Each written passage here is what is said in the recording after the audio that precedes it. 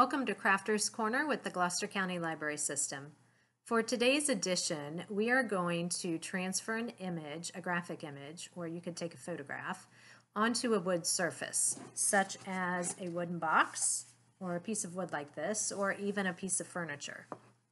We're going to take the image and coat it in Mod Podge and lay it on top of the wood surface and let it dry for overnight.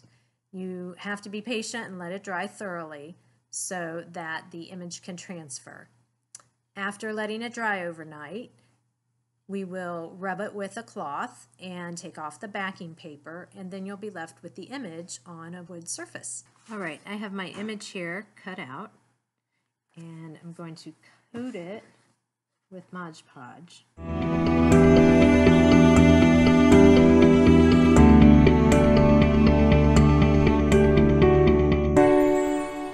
Place it on my wood and try and center it. And I'm going to press it down Make sure all the edges are pressed on and then let it sit overnight until it is completely dry. Then after it sits and dries, we will use a damp cloth to wipe away the white paper. Back with our wood that has the um, the graphic glued to it with Mod Podge and it has dried overnight. It's completely dry. So now I'm going to take a wet cloth and gently start rubbing on the paper because I want to wipe the paper away.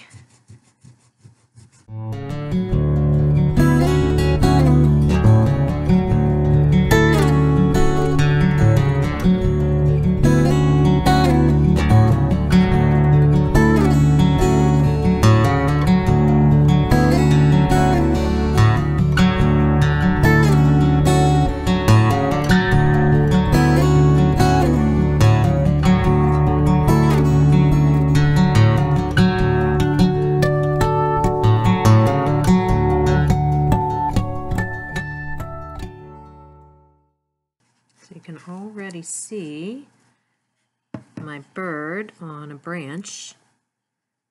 I'm going to re-wet my cloth and you just get it damp. You wring it out well because you don't want a lot of water pooling on your surface of your um, your wood and you don't want to rub too much after the white backing paper comes off because then you can rub the actual image off. So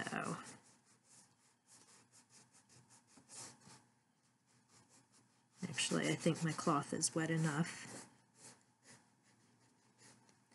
And you can also take your finger to rub off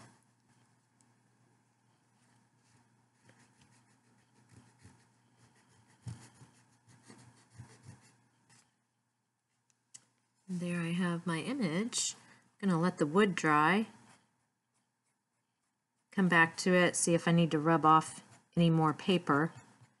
And then you can always use a clear acrylic spray to seal it and give it a little bit of a gloss. Um, that will help protect it. And then you can hang it or do whatever you want with it. Maybe you do a tray, a wooden tray, or do a board like this and then you can hang it on your wall um, or a box like I showed you before.